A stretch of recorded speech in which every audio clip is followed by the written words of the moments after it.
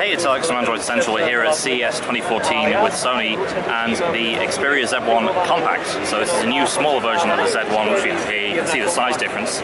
Pretty outstanding there. We've got uh, 5 inches here, 1080p on the uh, Z1 versus 4.3 inches 720p here on the compact. So it's uh, obviously it's a lot smaller and a lot lighter and uh, still a fair amount of bezel around the screen, but uh, definitely a little bit more hand and pocket friendly.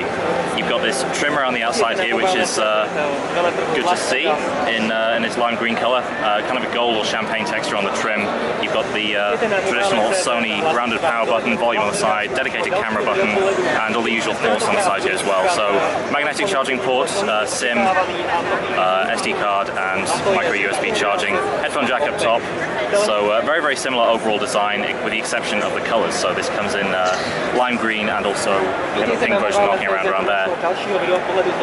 On the inside, it's basically the same hardware as the Z1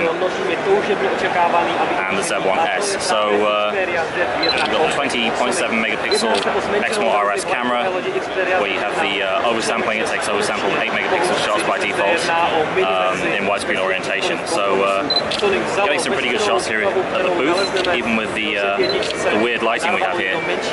So uh, in terms of performance and, uh, and the overall software, it is basically the same as uh, the Z1 that we've been using over the past few months. Android 4.3 Jelly Bean on here out of the box. Of course, the Z1 was recently upgraded to 4.3. So a very similar experience to the Z1, just in a much smaller form factor and perhaps a more colourful uh, device as well. So there you go, it's a very quick look at the Sony Xperia Z1 Compact. We'll see you guys next time.